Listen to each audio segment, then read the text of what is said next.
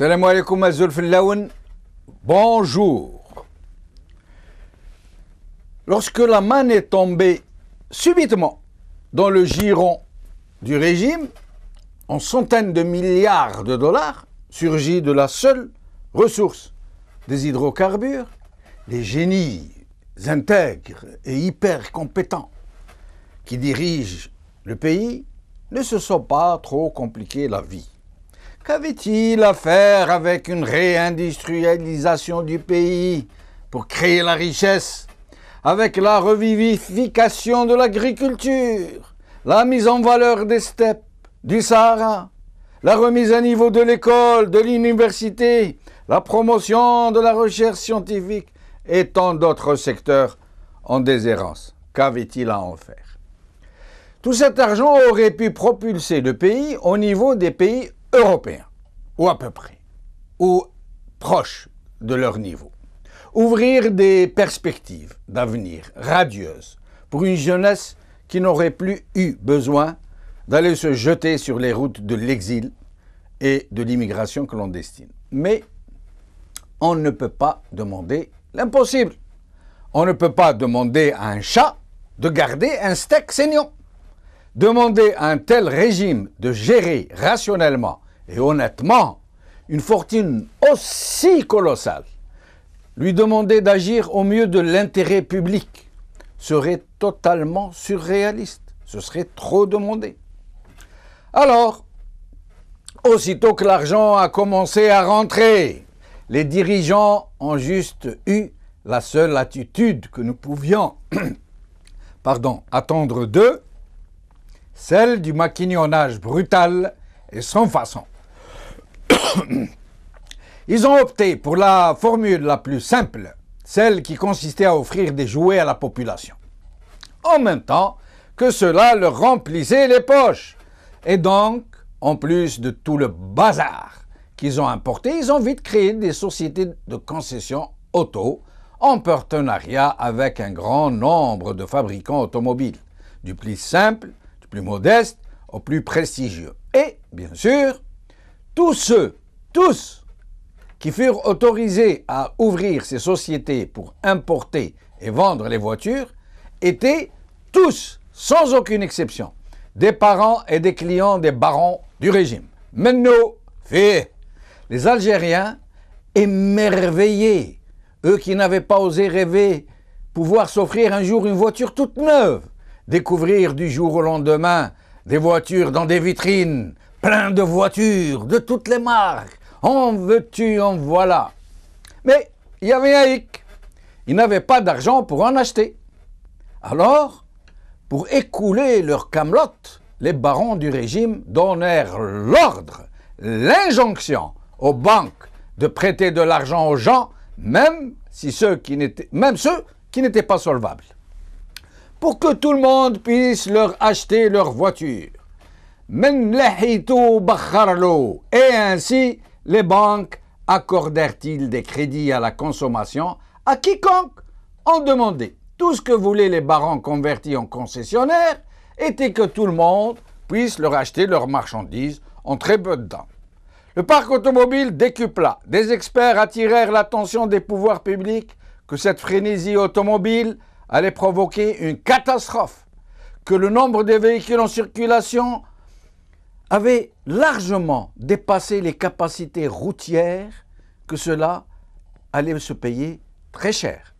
Et de fait, en très peu de temps, l'Algérie se propulsa au quatrième rang mondial en termes de victimes d'accidents de la route, après les USA, l'Italie et la France. Un autre record sinistre, encore plus sinistre que la sécurité sociale et les infrastructures hospitalières était loin, très loin des normes les plus sommaires. Lorsque la pression devint intenable et que la circulation automobile devint encore plus mortelle que le terrorisme, lorsque les bouchons sur les routes nationales devinrent hallucinants, le régime trouva une autre combine pour faire d'une pierre deux coups. Décompresser un peu la circulation automobile entre les agglomérations et en même temps se remplir les poches, Ce fut la construction du projet du siècle, comme le baptisa le même régime. En fait, une autoroute gruyère parsemée de nids de poules, de fondrières, voire même d'affaissements et même d'effondrements de viaducs. Le projet du siècle s'avéra être, à configuration égale, l'autoroute la plus chère du monde, en même temps qu'elle était la plus dégradée du fait de malfaçons fautives, dont personne ne rendit compte en fait. Pire que cela, un gros scandale de corruption éclata, comme d'habitude. Ce furent des lampistes qui payèrent, pendant que le ministre qui avait empoché la grosse mise, pour lui et son puissant protecteur, ne fut pas inquiété le moins du monde. Il est toujours ministre. Et ainsi, dans une carte routière impossible à gérer, saturée de véhicules, l'incivisme ambiant fit le reste pour que la catastrophe atteigne son comble. Rouler en Algérie est désormais une gageure. Le code de la route n'est plus qu'une simple formalité. Plus personne ne le respecte. Chacun conduit comme il peut, comme il veut. Le plus fort passe, le plus faible ou celui qui craint qu'on lui abîme sa voiture n'a qu'à se ranger des voitures, surtout celles des nouveaux riches. Le monde du haut de leur Hammer, ces nouveaux riches de leur 4x4 et de leur morgue et de leur fric. Sur l'autoroute, les Kavzin roulent sur la bande d'urgence au point de l'encombrer, au point où quand il y a un accident, les ambulances ne peuvent ni accéder sur les lieux, ni en sortir. Mais s'il n'y ça, ça et là, des gens arrachent des glissières d'autoroute pour y aménager des passages vers leur ferme ou leur douar, d'autres des vendeurs à l'étalage qui, avec des étals d'oranges, de figues, de barbarie, du poisson, des pastèques, voire même des vendeurs à la sauvette, de galettes et même du thé à la menthe.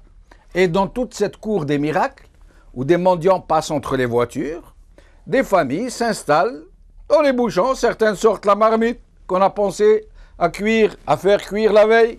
Et pour compléter le décor, même les voleurs en tout genre s'invitent dans cette immense foire que sont, devenues, que sont, que sont devenues les routes et l'autoroute. En ville, dans toutes les villes d'Algérie, c'est bouchon tous les jours. Un point où pour aller plus vite, il vaut mieux circuler à pied. Voilà, nous en sommes là. Soit nous n'avons pas de voiture, soit nous en avons dix fois plus que ne peuvent en contenir nos routes. C'est comme le reste, comme tout le reste, et roule, remoule. Aujourd'hui, TSA, le spectre des énormes bouchons à Alger. Al-Watan, à quoi servent les retraits de permis? Liberté, plus de 470 morts et 5600 blessés en 30 jours un mois d'août sanglant sur les routes. Invité avec nous aujourd'hui, M. Thierry Mohamed Akli, retraité de la CNAS, et Fella Bouredji, journaliste, euh, auteur de l'article d'Al-Watan que nous venons de citer.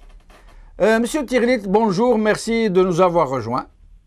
Euh, bonsoir, monsieur euh, Benchenouf, bonsoir à vous, bonsoir à, toute l'équipe de Magharibia et bonsoir à, votre téléspectateur. Merci beaucoup. Alors, dites-moi, euh, Monsieur Tirlit, c'est quoi cette catastrophe euh, vous, euh, vous J'imagine que vous êtes vous-même automobiliste et que vous devez euh, en subir tous les jours de, de, de, choses comme on en a parlé. oui, tous les jours on subit. C'est un calvaire qu'on subit tous les jours. Euh, matin, soir, euh, la nuit, jour férié, euh, tous les jours, tous les jours. Et effectivement, ça fait longtemps, ça fait plus d'une dizaine d'années que tout le monde en parlait, les journaux en parlaient, la, la télévision, les services publics, mais pour pour essayer de trouver des solutions radicales à ce à ce problème, et je ne sais pas, il, il, ils sont, ils sont là à constater et pas plus. Mais en fait, en fait, en fait, qu'est-ce qui se passe? Est-ce qu'il y a trop de voitures? Est-ce que les gens ne respectent pas le code de la route? Est-ce qu'il y a euh, une absence des policiers, des gendarmes censés réguler tout ça? À quoi c'est dû cette pagaille? Il, y a tout ça en même temps. Il y a, il y a l'incivisme des chauffeurs d'abord, euh, qui doublent à droite et à gauche. Il y a le, le manque d'infrastructures. Vous voyez, à Alger par exemple, il n'y a pas de feu rouge. Il y a deux ou trois feux rouges que, qu'on connaissait depuis les années 60, les années 70, et puis, et puis c'est tout. Alors que tout le monde parlait, euh, même là où je, je me demande qu'est-ce qu'ils font les services publics là où il y a le ministère de l'Intérieur, le ministère des Transports. Et ils en ont parlé pour installer des feux rouges un peu partout. il y a le, il y a le manque de, de stationnement. Vous savez, quand vous avez un problème à régler à Alger, il faut, il faut prendre un deuxième chauffeur et laisser le, le chauffeur, le deuxième chauffeur se tourner euh, en ville, à Alger, et vous, vous rentrez dans une administration pour régler votre problème. C'est euh, pour ça que, c'est pour ça que le, par manque de, de, stationnement, par manque de, de lieux de stationnement, c'est pour ça qu'on trouve beaucoup plus de voitures qui circulent et le, les feux rouges, il n'y en a pas. Donc, euh, euh, au plus malin, ben vas-y, tout le monde, tout le monde euh, essaie de passer le premier. Voilà. Il y a l'incivisme des citoyens. Il y a aussi la décentralisation de, de, de l'administration qui ne se fait pas. Euh, moi, je, je, ne vois pas pourquoi euh, dernièrement ils ont construit deux universités à, dans des quartiers résidentiels, l'université de, de, de, la médecine, euh, comment dirais-je, à Saïd Hamdin, une université euh, euh, juriste, le droit. Euh, ben euh, là où il y avait un centre commercial, ils ont détruit tout, ils ont construit une université. Pourquoi ne pas les faire sortir en dehors de la capitale? On dit qu'il y a, ils, vont créer des, des, comment, des, nouvelles villes, par exemple, Sidi Abdallah. Pourquoi ne pas construire là-bas euh, la, la, qu'on connaissait avant, depuis les années 70, qu'on connaissait à Boumerdès. Et ils font le, leur siège social à Haïdra. Pourquoi le maintenir à Haïdra Parce qu'il y a des, des, gens qui, qui habitent Boumerdès, qui habitent Izivzou, qui habitent... Et ils viennent travailler à Haïdra, Sonatrach. Pourquoi ne pas faire sortir le bâtiment de Sonatrach, l'envoyer à Boumerdès Eh bien, tout simplement... Pour qu'Alger respire. Tout simplement, monsieur... Et voilà, les pouvoirs publics n'agissent pas. Je ne sais pas pourquoi. Mais restez avec nous, Monsieur Thirilt. Euh, Fella Bouridji, journaliste à Loatan, merci d'avoir accepté notre invitation. Vous êtes là avec nous pour la première fois. Bonjour, oui, effectivement. Ben, merci de m'avoir invité aussi pour parler d'une question très importante. C'est nous. Donc, euh, par rapport, oui. Alors, dites-nous un peu euh, cette histoire de, pour rester un peu dans votre article, de, de, retrait de, permis de conduire, euh, comment ça se passe? Est-ce que c'est important? Est-ce que... Et puis moi, je vais vous raconter une histoire. Allez-y. Oui. Bah, évidemment que c'est important quand on sait que, que, que ça met en difficulté beaucoup, beaucoup euh, d'Algériens.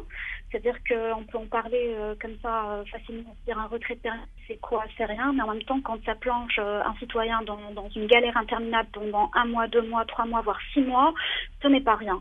D'autant plus que c'est une sanction qui ne semble pas être très bien appliquée et qui soulève beaucoup de questions.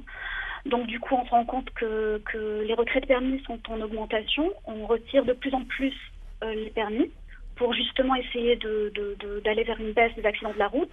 Sauf que on remarque que, ça n'arrange rien. Et pire encore, ça, ça, ça, ouvre la voie à plein d'autres problèmes, comme des problèmes de passe-droit, de corruption autour de, de, la récupération de ces retraits de permis, en fait. Euh. donc du coup, euh, ça pose un problème de fond et qui revient à ce que vous disiez tout à l'heure et à ce que disait le monsieur il y a quelques minutes. C'est euh, ça pose un problème de gouvernance un problème de cohérence, c'est-à-dire euh, aller vers des fonctions abusives comme ça, euh, c'est quelque part euh, s'enfoncer plus au lieu de régler réellement le problème. Donc, ah, alors, grosso modo. Alors, avant de, de, revenir à ce problème de civisme complètement incroyable, pour essayer de décrire un peu le chauffeur, plutôt le chauffard algérien, Aujourd'hui, c'est un secret de polichinelle. Moi, personnellement, j'ai eu quelqu'un au bout du fil qui a, eu, qui a vécu mes aventures. On lui a enlevé son permis. Euh, il était atterré parce qu'il avait besoin absolument de sa voiture pour se rendre au travail. Il n'a pas les moyens de, se louer un chauffeur. Et bon, il a un peu creusé, juste un petit peu. Et on lui a dit, mais aucun problème. Il n'y a aucun problème. Tu payes tant et tu vas avoir ton permis tout de suite. Et, moi, je lui dis, mais, mais, comment ça se passe? Mais euh, à la limite, tu, aurais payé au, policier qui l'a enlevé avant que ça n'arrive à l'administration, j'aurais compris. Mais euh, tu dis qu'il te l'a enlevé depuis un peu plus de 15 jours et tout. Euh.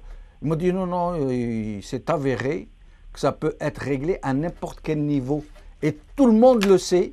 Et tout, pratiquement une grosse partie de ceux qui se font suspendre le permis le récupèrent en payant le petit pot de vin. Tout à fait. C'est, euh, bon, parfois c'est, juste des passe droits, c'est-à-dire euh, on connaît une, bonne relation, on l'appelle, elle nous rend service, et parfois c'est oui, ça, c'est, le petit pot de vin, c'est la petite chipa, comme on dit. Oui, c'est un phénomène extraordinaire. Alors oui, euh, on retire votre permis, vous pouvez le récupérer au bout d'une journée. Euh, et, voilà, et, la vie continue. C'est ça en fait le, vrai problème, c'est que euh, on aurait pu adopter une, une mesure euh, coercitive comme celle-là, mais encore faut-il l'appliquer correctement. Mais quand on sait qu'il y a un véritable problème d'impunité, un véritable problème de justice, et donc du coup euh, c'est une sanction qui devient complètement absurde. À côté, il y a des personnes qui, qui, n'arrivent même pas à avoir accès à, à la Maréfa pour pouvoir récupérer leur permis. Et puis à côté, on a d'autres euh, qui, les récupèrent en une heure, en une journée, en deux jours. C'est très simple. Alors il y a quelques années, il fallait avoir une relation très haut placée pour récupérer son permis. Maintenant, ça s'est complètement banalisé. Il suffit de, connaître quelqu'un qui connaîtrait euh, le cousin du frère du, policier du coin ou, quelque chose qui ressemblerait à ça pour récupérer son permis. C'est très facile en fait. Le, Et des euh, témoignages de ce genre, il, y en a à l'appel.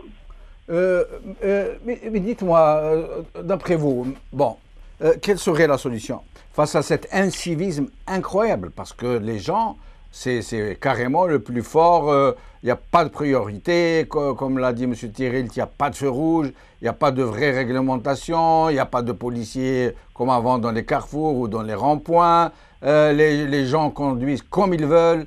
on m'a même raconté, bon, ça fait longtemps que je n'ai pas été au pays, m'a même raconté que sur l'autoroute, il y a des gens qui empruntent la, la, la, comment on appelle, la voie de secours, qui en principe n'est destinée qu'aux services de sécurité et aux ambulances. Et euh, il paraît que les gens l'empruntent le plus normalement du monde. Euh, l'un parce qu'il est, c'est un, un boss, l'autre parce que c'est un militaire, l'autre parce que c'est un commissaire, l'autre parce que c'est un préfet. Et donc, c'est des passe-droits normales, ils l'empruntent et des gens s'engouffrent derrière eux et, et, et après, ça bouchonne mais comment faire? Comment réagir face à cette, euh, à cette euh, incroyable incivisme? Alors moi je pense qu'on ne peut pas poser déjà le problème euh, sans le contextualiser. Je pense que c'est un problème qui est à l'image de beaucoup de choses qui se passent en Algérie, qui relève d'une question de gouvernance. Donc c'est pas, on n'a pas un problème seulement avec cette question-là, on a des problèmes sur tous les fronts, justement parce qu'il y a une question de mauvaise gouvernance parce qu'il y a une question d'incohérence dans les dans les mesures euh, qu'adopte euh, qu'adopte l'État face à différents phénomènes. Donc du coup, ce problème, on ne peut pas le, le régler tout seul. C'est-à-dire qu'il faudrait que que l'Algérie se remette à que nous avons un problème de il semble que nous, nous ayons un problème de contact. Euh, la, la, la, régie va tout de suite régler ça. Je reviens à M. Thirilt. M. Thirilt, euh, vous êtes avec nous, M. Thirilt? Oui, oui. Euh, voilà. Alors, euh, du jour au lendemain, du jour au lendemain, pratiquement, avant, euh, si vous vous rappelez, il n'y avait pas de voiture d'importation, il n'y avait que ceux, les anciens moujahidines qui avaient le droit d'importer, ou alors ils importaient des voitures d'occasion sur certaines restrictions. il l'a gardé pendant 5-6 ans et quand il l'a revendé, il l'a revendu deux ou trois fois plus cher euh, c'était que le marché d'occasion. On ne connaissait pas le marché du neuf, ça n'existait pas. Et puis d'un seul coup, ils n'ont pas commencé à importer progressivement. Ils ont inondé le marché à tel point que les experts en la matière ont réellement tiré la sonnette d'alarme. Ils ont fait des tribunes dans les journaux. Ils ont dit c'est une catastrophe. Nous allons atteindre euh, euh, un rang, et ça c'est fait, nous, sommes devenus quatrième rang mondial en termes d'accidents de la route et de victimes d'accidents de la route. Et euh, la, pollution dans les villes, et les encombrements, et les bouchons, et les gens qui, même des gens, des citoyens euh, responsables, en arrivent à s'énerver tellement qu'ils montent sur le trottoir pour doubler, etc. D'après vous, euh, qu'est-ce qu'on pourrait suggérer comme solution à cette hécatombe, à cette catastrophe qu'ils nous ont fait subir? Moi, je pense, d'abord, c'est une c'est une mauvaise lecture de, de, de, nos responsables avant qu'il y ait ce, ce, chamboulement. Parce que vous, voyez que Alger, par exemple, s'est multiplié peut-être par euh, trois ou par quatre. Ce, n'est plus Alger. Moi, je connaissais Alger, c'est Bablouad, Belcourt, la Grande Poste et puis euh, les alentours. Maintenant, on est arrivé jusqu'à jusqu'à Sidi Ferrus, Sawadil, euh, euh, et tout, c'est multiplié. Donc les besoins des gens en,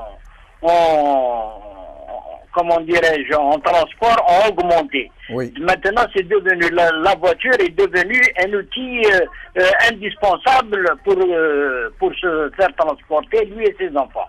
Seulement, au lieu de ramener, moi, à mon avis, ah, avant, ça fait plus de dix ans maintenant que ça a duré, dix ans. Au lieu de ramener, au lieu de ramener toute euh, cette, euh, euh, cette mécanique, cette truc, il fallait investir dans le transport urbain, le transport collectif. Par exemple, le métro, le tramway, ils l'ont fait maintenant, mais c'est d'une façon un peu euh, d'une façon, ils ont fait une ligne ou deux lignes et puis c'est tout. D'une façon euh, tiède, quoi. Mais ça n'arrange pas les affaires. les gens sont obligés, sont obligés de se rabattre sur les véhicules. Et les, et eux, ils ont, ils ont besoin de, de, de, de, de ramener des, des, véhicules pour gagner du fric. Ah, ah là, voilà, c'est là la, la, clé de voûte de toute la question. Ils ont besoin d'importer des véhicules sans arrêt. Ils en ont importé pour des milliards et des milliards de dollars. Je n'ai pas le chiffre en tête. Presque 10 milliards de dollars, je crois, ou pas loin. Euh, et ils en veulent encore. Ils veulent encore importer. Euh, il y a d'autres concessionnaires qui s'installent. Ceux qui sont déjà sur place euh, veulent toujours continuer à vendre autant. ils s'en foutent. pardon, ils se fichent du reste. mademoiselle Bouredji, euh, est-ce qu'il y a un projet de permis euh, à point en Algérie? Mademoiselle Bourgi, est-ce que vous êtes avec nous? Oui, vous m'entendez? Oui, oui, là on vous entend. oui, là vous m'entendez. Oui, oui. Très bien. Donc je disais, oui, oui, il y, a un il, y a, un projet de permis à point. Oui. Euh, ça traîne c'est pas étonnant. Il, a, il, était prévu pour mars 2014, puis euh, retardé à mai, et là on est en septembre, ça vient toujours pas. Et euh, dans une déclaration qui date du 20 août, le ministre euh, des Transports a expliqué un petit peu le, problème en évoquant une difficulté d'application de, de, la création d'un, d'un, de, la banque de données qui permettrait d'aller vers un, un, permis à points et avec le nouveau permis biométrique. Donc, en fait, on revient à la question de départ, qui est la question de gouvernance. Ils lancent des mesures, ils, font, ils prennent des décisions, mais ensuite, euh, leur concrétisation sur le terrain pose problème. Et je crois que c'est dû à un manque de coordination flagrant entre, entre ce qui se passe réellement sur le terrain, euh, c'est-à-dire dans nos APC, dans, dans, les directions de wilaya, euh, direction des transports des wilayas et euh, dans ceux qui sont censés gérer la question des transports sur le terrain, et puis ceux qui décident et, et, entreprennent euh, euh, des, choses euh, au sommet de l'État. Donc du coup, ça, ça oui, ça, ça, prouve encore une fois qu'il y a une question, une problème, un problème de, gouvernance qui se pose. Les nous, nous, allons revenir à, à ce permis à, point dans un instant, mais je voudrais vous savoir. Est-ce que moi, quand j'étais en Algérie, je me rappelle quand on vous infligeait une contravention, euh, les gens jetaient la contravention, ils étaient sûrs de ne pas payer, et ils sont arrivés à un tel volume de contraventions impayées qu'ils ont laissé tomber, qu'ils ne, ne récupéraient plus. Ça ne servait à rien, en fait, quand un policier vous donnait une contravention, c'était juste pour la forme, personne ne payait. C'est toujours le cas bah écoutez, c'est apparemment oui, c'est un peu toujours le cas. Euh, mais bon, il y a, certaines personnes qui reçoivent quand même. Euh, en fait, le, petit le petit truc, c'est une fois que vous payez euh, la première amende, vous êtes obligé de payer toutes les autres. Mais si vous ne payez pas la première amende, apparemment, je n'êtes pas inquiété. Ah, donc c'est une question de fichier ou quelque chose comme ça? Toujours, c'est la question du fichier en fait. C'est exactement ce qui les empêche de, de lancer quelque part le permis à points. Euh, ben oui, j'imagine, j'allais vous poser la même question. D'ailleurs, une solution euh, plus, plus adaptée à la question des, accidents de la route, euh, au lieu de faire des, des, retraits de permis massifs comme ça, qui ne servent à rien et qu'on récupère avec, voilà, avec un coup de fil. oui, parce que j'imagine que ne pas être capable de faire rentrer des amendes, ce qui est une opération relativement simple pour un État moyennement honorable où il y a une administration moyennement efficace. Euh, moi, je me rappelle quand j'étais jeune, euh, il était impensable de ne pas payer son amende parce que on vous relançait, on vous faisait payer passer en justice, on doublait la mise et vous risquiez même une contrainte par corps. Et c'était systématique. C'était impossible de ne pas payer son amende jusqu'aux dans les années 70.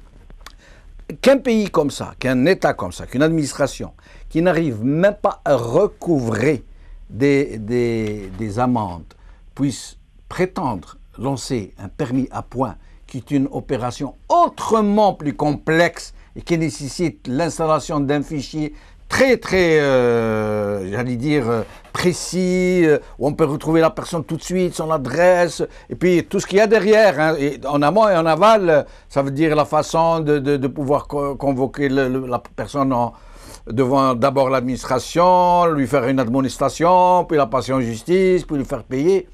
Je crois que ça relève purement et simplement de l'impossible. Vous, vous, ne pensez pas? Préférerais ne pas être trop défaitiste, mais oui, ça pose, euh, ça, on a du mal à, à, le projeter sérieusement parce qu'on sait très bien que, que, que, voilà que le manque de coordination sur le terrain est flagrant et ça voilà, oui, oui, vous avez raison. On a, du mal à, croire qu'ils puissent le faire dans l'année qui suit. dans l'année qui suit. Même dans les dix années qui suivent, ça m'étonnerait, moi, eh ben personnellement. Eh même ben si je suis eh un ben peu. Ça, pose un problème euh, de, il y a un problème avec le téléphone, il me semble. Ah, bah, ah voilà, voilà c'est mieux. Très bien par, là, contre, hein. là, on vous entend bien. On vous entend bien. Oui, je, disais que, que le, véritable problème qui se pose autant pour cette question-là que pour beaucoup d'autres, c'est à quoi sert une APC, euh, quelle est la relation qui lie l'APC et la wilaya, la wilaya au ministère, les gens qui sont sur le terrain euh, aux, aux, gens qui décident. En fait, c'est. Problème de sang. Fella Bouredji, euh, en tout cas, nous, cette émission arrive à sa fin. Merci infiniment pour vos précieux éclairages. J'espère que vous reviendrez euh, souvent dans cette émission. Je vous remercie beaucoup. Euh, Siti Rilt Mohand Akli, merci beaucoup pour votre éclairage et j'espère vous retrouver bientôt aussi. Merci. je vous dis à demain, très bientôt, Inch'Allah. Salam alaikum. Azul Salam.